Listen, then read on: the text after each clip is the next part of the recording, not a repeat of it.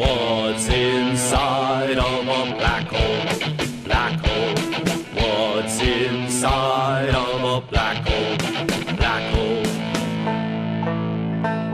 Oh, it may be the strangest thing you find in outer space. It could swallow an entire planet and never leave a trace. Yes, I'm talking about a black hole, a great big cosmic drain, where everything is falling, falling, falling, never to be seen again.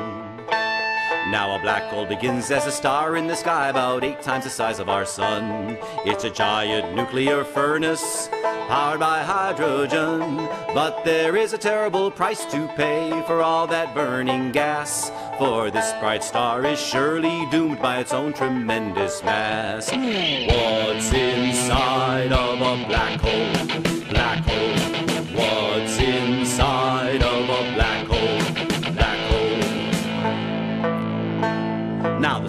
Shine for a very long time, five billion years or so.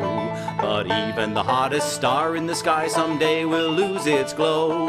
Then the awesome power of gravity will have to have its day. With a pull so tight, even light could never get away collapsing in an instant with a phenomenal burst of light. This star becomes a supernova shining through the night, brighter than a galaxy that's a hundred billion suns. And even though the star's now the size of a dime, it still weighs a zillion tons. What's inside of a black hole? Black hole. What's inside of a? Black hole. This tiny star still has not lost its gravitational pull. It becomes a stellar stomach that never could be full, eating every morsel within the vicinity. And scientists think that a whole lot of stars have met this destiny. Now you don't have to worry that a black hole could get us. At least for several billion years, I say that now because the future of the universe is beyond all our control.